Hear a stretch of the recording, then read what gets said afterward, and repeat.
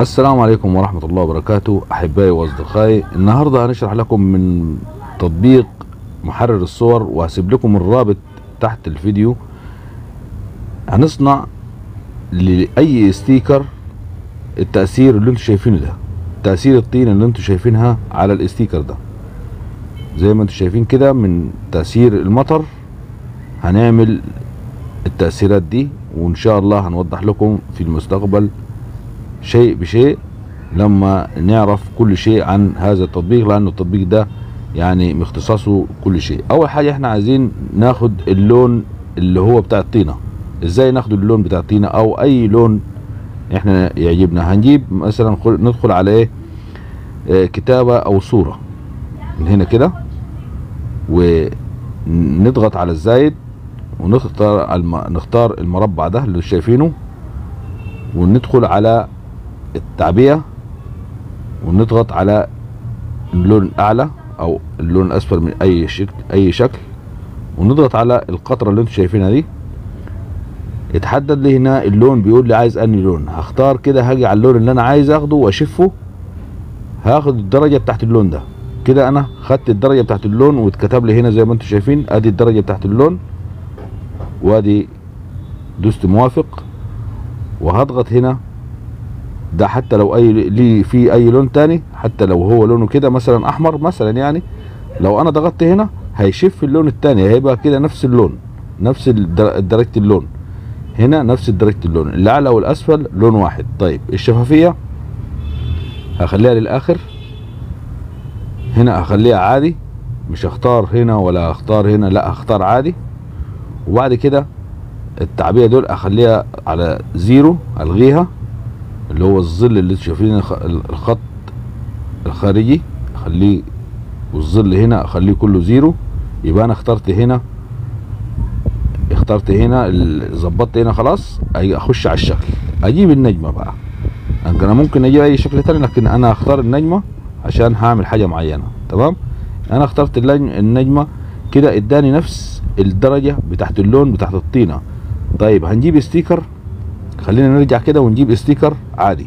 وزي ما أنتم شايفين كده أنا جبت sticker فاضي اهو ما فيهوش اي تأثيرات. وهضيف عليه التأثير طبعا دخلت على كتابة وصورة. بعد ما جبت ال sticker دخلت على الخانة بتاعت كتابة وصورة واضغط على المربع ده واختار الاعتماد اللي أنا اعتمدته وظبطت التأثيرات بتاعتي. نظبط الأول اللي تحت دي. جبت النجمة عشان خاطر أسيب فراغ ل زي ما أنتم شايفين كده؟ وهضغط هنا كده واعمل تكرير اكرر يعني انسخ منه تاني جزء جزء وهظبط على حسب ما انت شايف كده وعلى حسب ما يوافق معاك برضو. اكرر هنا برضو يبقى أنا هنا كررت العمل على إيه؟ تلاتة اهو. يبقى أنا عملت تأثير كأنه طينة برضو زي ما أنتم شايفين اهو أظبطها.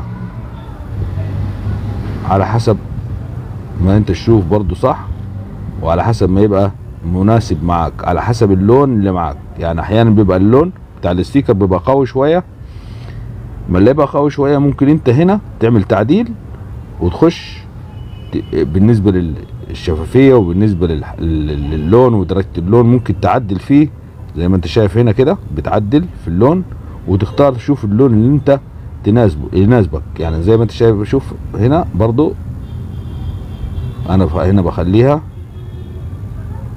على حسب لون الستيكر طبعا. هعمل تكرير وهروح راجع فين؟ طالع هنا كده وأروح تاني برضو أكرر تاني برضو وأروح جاي عليها هنا. احدد عليها واجيب يبقى أنا كده عملت تأثيرات الطينة اللي أنتوا شايفينها دي.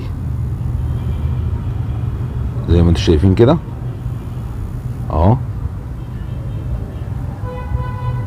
كده زي ما أنتوا شايفين عملت آه تأثير كأني طينة. ده بالنسبة للطين. إحنا عملنا بالنسبة للطين اللي هي في الاستيكرات والحافلات زي ما بتشوفوها آثار المطر وآثار السفر وكده وجايه العربية من مشوار بعيد.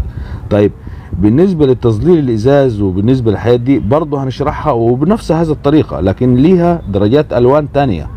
انت بتختار هنا بتتحكم في الألوان وبتتحكم في درجة اللون زي ما انت عايز. عمل.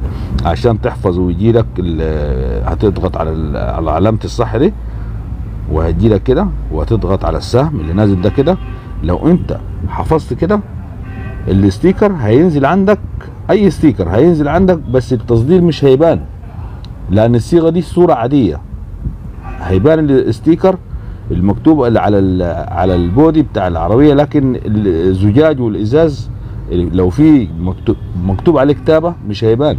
لكن عشان يبان التصدير بصيغة PNG اللي هي الصيغة دي. تمام؟ تمام؟ اللي هي الصيغة دي. وأضغط هنا كده. يبقى أنا كده ضغطت وحفظت بصيغة هيظهر في الكتابه ويظهر في الستاير اللي أنتم شايفينها اللي في الإزاز ده. تمام؟ لكن لو انت آه، حفظت بالصيغة الثانية الصيغة دي مش هيظهر. كده على الله يكون بس يعني قدرنا يعني نوضح بعض الأمور والسلام عليكم ورحمة الله وبركاته.